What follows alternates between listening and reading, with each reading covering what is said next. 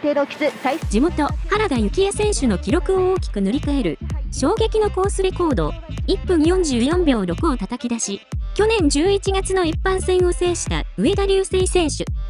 相性抜群の大村 G1 海の王者決定戦でも大暴れです。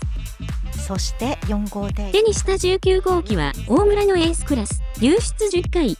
優勝3回の実績を誇ります。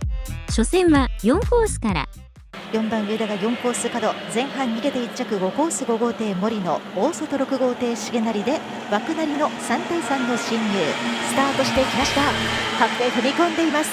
さあ1周目1マーク角から少し4号艇の上が覗いていきましたが一番先前そして4号艇のまくり出し。1番の懐をしっかり捉えました。5番とそして6番も内の方攻め寄ってきますが並んでいる4号艇上田と外は1号艇ブス島。出ていく4号艇の上田流星判定心一定心覗きながら1周目にマークを迎えます。スタート前提正常。1番のうちに5番6番も殺到してきました。後ろ1号艇5号艇競りましたがこの間に4号艇の上田が大きく先行体制をとっています。地元は5号ブス島選手のインを破った翌日。前半は絶好枠から。枠なり3対3でスタートしていきました。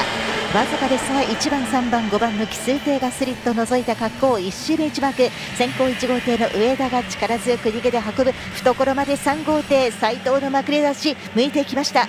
若干1号艇の上田が前追走に3号艇の斉藤。その後は4番と2番と5番3艇が並んで最高峰6番と続く2マークの攻防です。スタートは前提正常でした。先頭1号艇の上田がリードを広げながらホームスレッジへ帰りました。そして2戦連勝。圧巻は大外からの3走目。チルト0.5が見事にはまりました。第10レースの予選競争。枠なり3対3の進入です。スタートしていきました。4コース角は4号艇丸岡。スタート先行6号艇も6コースから少し出ていった上田です。仕掛けて4番そして大外まくり出し展開突き上げました。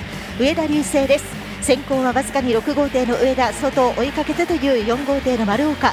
そして3番1番5番と3艇接戦。最高峰2番で2マークへと向かいます。スタートは前提正常です。トップで6号艇の上田が2マーク旋回。4番の差し返しだいぶ迫ってはいますが6号艇先行上田追走4号艇の丸岡。その後は1号艇の井口と3号艇桑原並んでレースは2周目へと移りました。今リードは2艇進半という6号艇の上田流星トップで2周目第1弾マークまあ、結果が出てるんでやっぱりいいエンジンだと思います、ちょっと、まあ、ゼロで合わせたいですね。ゼロ5だとちょっと離れも怪しいんで、はい。